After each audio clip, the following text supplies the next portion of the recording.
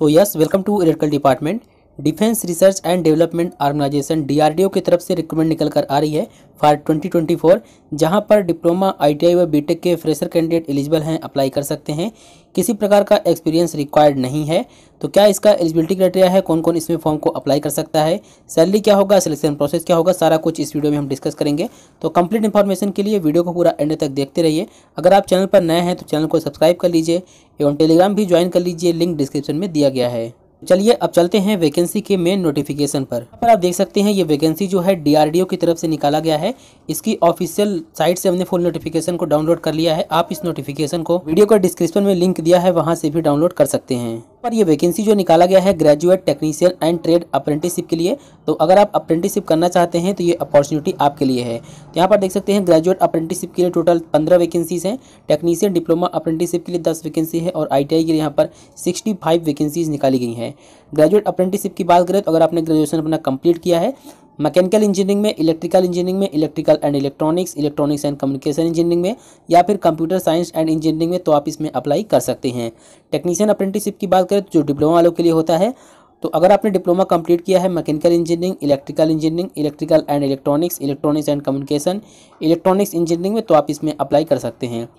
Trade apprenticeship की बात करें तो अगर आपने आई अपना कंप्लीट किया है फिटर ट्रेड में electrician electronic mechanic turner COPA और फिर मैकेनिस्ट में तो आप इसमें अप्लाई कर सकते हैं।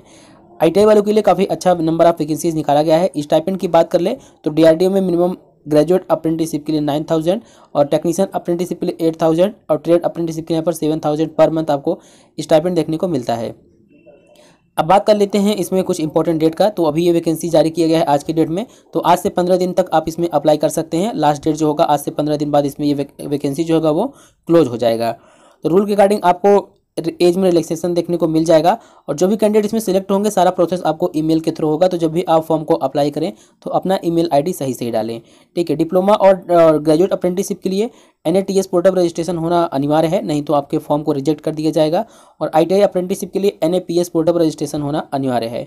कौन कौन से ईयर के पास आउट कैंडिडेट अप्लाई कर सकते हैं? तो अगर आपने डिप्लोमा बीटेक या आईटीआई कंप्लीट किया है 2021 में 22 में या फिर 23 में तो आप इसमें अप्लाई कर सकते हैं। लेकिन अगर आपने पहले कभी अप्रेंटिसशिप या वन ईयर का आपके पास एक्सपीरियंस है तो आप इसमें अप्लाई नहीं कर पाएँगे। जो आपका अप्रेंटिसिप का ट्रेनिंग पीरियड होगा, वो वन ईयर का अप्रेंटिसिप ट्रेनिंग पीरियड होगा। जो आपका ट्रेनिंग लोकेशन की बात करें तो एएसएल में डीआरडीओ का डीआरडीओ ऑफ़िस है वहाँ पर। तो एएसएल हैदराबाद में आपको ट्रेनिंग देखने को मिल जाएगा, वहाँ पर आपको जाना होगा।